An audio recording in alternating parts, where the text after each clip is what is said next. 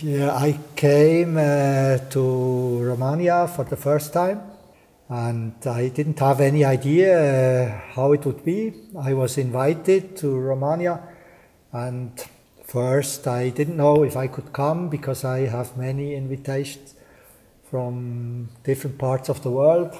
Then somehow I decided, yeah, that we should do it. Somehow I didn't have any big expectations I uh, know that uh, some people from Romania, one or two men, they had been visiting the ashram of my guru in the 1970s and 1980s. Then, when I came to the center, when I saw the yoga hall, I thought uh, it will be a good seminar, even if it was only 10 people, because uh, the yoga hall is quite nice it's uh, like a cave, a little bit uh, dark, but not too dark. It's uh, very calm inside and uh, big and nice. And so I thought it, uh, no matter how many people will come, we will have a good seminar here. And so far, now it's second day, and I think it, most people like it. And I, me too, I think the energy is good. So uh, this is all I need. Pentru mine, Reinhard este, aș spune, o legendă vie, datorită lineagiului de pe care vine. Uh, știam de Mahar și Kartikeya încă de când practicam de la început uh, Hatha Yoga, Mahar și Kartikeya fiind unul dintre uh, guru și lui. Și apoi Direnda Brahmachari, practic foarte multe elemente din tradiția și din uh, yoga pe care uh, Direndra Brahmachari le predă, sau le-a predat, mai bine spus, uh, fac parte și din practica mea. M-am bucurat foarte mult de inițiativa care a fost luată de a-l aduce pe Reinhard la noi. I thought that Direndra Brahmachari in Romania must be quite well known, like in Russia. In Russia, he, my guru is quite famous because he was uh, coming to Russia with Indira Gandhi, and it was Russian winter. It was very cold, minus 30 degrees in St. Petersburg, and he was naked or yeah, just wearing the dhoti with barefoot, and uh, it was uh, quite heavy for the Russians, of course, to see a man walking in this cold without feeling cold. And so uh, Dhirendra Brahmachari, he became famous. Yeah, I was very lucky that I met a real yogi in India. His name was Dhirendra Brahmachari. He was uh, he became my guru, and I became quite ardent. Uh, you say ardent? Uh, yeah, like a very strong uh, practitioner of Hatha Yoga in about 1979. I changed my life. I wanted to become a real yogi like Dhirendra Brahmachari. And so in the following years, uh, this uh, man started to teach me uh, about the original Hatha Yoga from the Himalayas. And uh, yeah, I, I started to learn, I started to understand that this is quite a powerful practice that these yogis, yogis do. I, even as a young man, I always wanted to become free. Freedom was very important, and when when I was becoming a young adult with maybe 15 years, I was looking for freedom by doing many things which were not so good for my health. Started to use uh, to smoke drugs and uh, enjoy wildlife and thought this is freedom to enjoy life and to roam around the world without uh, belonging to this society where people always work and are like slaves. And then I realized suddenly when I was 25 that uh, the wildlife without discipline does not make you free somehow you start to have problems, physical problems, mental problems.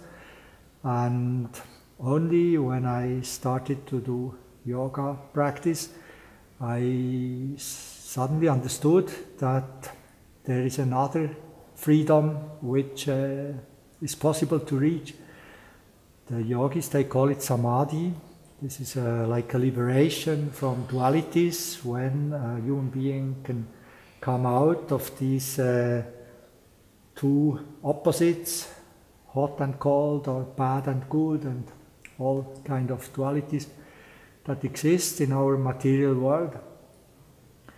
And so, of course, it was my dream to reach uh, also such a level as a yoga, yogi. And this is what I am doing now. I am trying and learning more and more. Today, I am a teacher. I'm teaching around the world, but I am at the same time also a student. I learn in every seminar also uh, more about this energy that we use to practice. And I believe that it is possible to reach a state where you are somehow completely free. No more death, no more life, finish uh, the, the end of these dualities. And yeah, it's my dream to get as far as that. But uh, my guru, he always taught me, I, if you want to reach to the high levels, you have to go slowly, step by step, and not trying to jump too much or to make haste to run towards such goals because uh, you cannot reach them with pushing too much. You have to use your patience, you have to be devoted, and you just have to continue uh, to walk. My aim somehow is to show the people that the original yoga, which is uh, called Hatha Yoga, with the word Hatha, it means the yoga of power. It's about power. You are starting to use a power inside of you with powerful practice, and uh, that people should uh, remember the old yoga. At least some people they should try to find the really the real old yoga, the pure yoga, which is different in many aspects of the modern yoga. Uh, and they should, uh, if they want uh, to discover themselves, if they are looking for self realization, they cannot find anything better than Hatha Yoga, I believe. Primii mei profesori de yoga au venit din, um, din, din yoga tradițională, așa că am regăsit anumite elemente din practicile tradiționale din India. The first reward that I got from the practice was that I became more healthy. My health came back quite quickly, yeah, like a basic health and uh, I started to become more calm. Nervous uh, ner- nervosity disappeared, and mental slavery, as I would call it, like the thinking and thinking process, which uh, is going on in most people in a very negative way. You have fears, you have always problems and worries and such things. This started to fade away. Hatha yoga is meant for individual people who dream of escaping from this uh, prison of reality, you can say, from the prison that we live in, uh, in the form of karma, of daily life routine, and many other things. I uh, believe that the reward of the yoga is that you start to discover that freedom is possible to reach. There might be a possibility to reach freedom. The reward in the beginning is that you start to lose your fears. If I think most people who start with yoga practice, they do it uh, because they are not happy. Maybe they are not healthy. They feel that something is not working properly in their life or in their organism also from yoga practice that you start to respect yourself. You start to respect your body and you start to treat yourself in a way that is respectable somehow according to the laws which you should uh, obey. And uh, by doing this, I think also the outside world will start to accept you as you are, respect you for what you are. Yeah, this is uh, what yoga wants. It wants you to become confident yeah, calm, confident. You have the confidence that uh, God, the divine power, will help you to manage materially. You get the food that you need, you get money that you need, you have a, you get a place to live, and so on. Very high level, like my guru, they are completely without fear. For them, fear, the word fear, is doesn't even exist anymore. They would not be afraid of tigers or of armies coming against them they would just uh, be relaxed and give themselves to God somehow. And uh, if God wants to protect them, they will be protected. If God would want to destroy them, they would be destroyed, but they would not be afraid even of destruction. I do it for quite a long time. It's now about 37 years since I have started. And uh, yeah, because of more experience, I also am aware of some dangers which are inside the practice.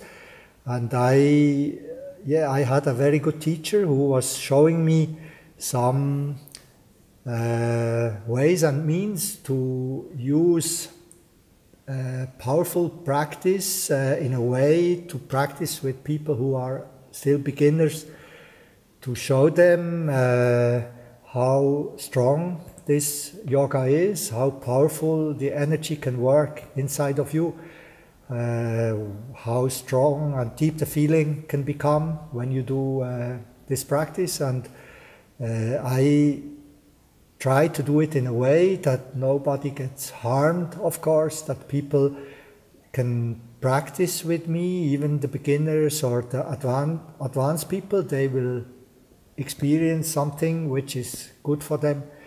I think this is the role of a teacher to to be also an example uh, how lifestyle of a yogi should be. A good teacher, I think, is one who has been walking on this road quite far, uh, like uh, in the mountains. You need a scout who is guiding you, a guide who is guiding you up to the Everest. Uh, you cannot go by yourself in the beginning, and the guide, of course, quite important. He will tell you where to be careful. He will know some dangers of these uh, high mountains. It's exactly exactly the same in Hatha Yoga. Of all the practice that we have uh, in in our world, just like it is written in the Yoga Shastra. There is a writing, it says Nasti Yogat Parambalam. This means there is no power which is stronger than yoga. And in uh, the Yoga Upanishads, which are 20 Upanishads about Hatha Yoga, the Shiva, he says that uh, if somebody wants to find uh, the best way to reach the highest level that a human being can reach, the fastest and strongest way, then he should choose the, he calls it the Siddhi Margena. Siddhi Margena means the pathway of uh, supernatural realization. This is another name for Hatha Yoga. A fost uh, și este în continuare că seminarul nu s-a terminat. Foarte interesant, am regăsit elemente pe care nu le știam în practica Kundalini, uh, care au adus un plus de valoare în uh, practica mea personală și aș putea să spun că m-ar bucura foarte mult dacă Reinhard chiar ar mai fi invitat aici. Yeah, this is all I have to say. I think, uh, yeah, it's my wish to become a yogi still every day, and uh, I promise myself I will not give up until I die to reach uh, samadhi. If I cannot reach it, then I hope it will continue in the next life. But uh, hopefully, I can use all the experience of this life uh, and do it in this life. Because death is always like uh, clearing the hard disk from memories and to recollect the memories in the next life is not so easy. So, uh, Hatha Yoga, it says that it is possible to do this uh, long pathway of uh, realizing yourself, of transforming into a higher uh, being, a spiritual being, even in one lifetime. So I hope that it's possible, and this is what I do.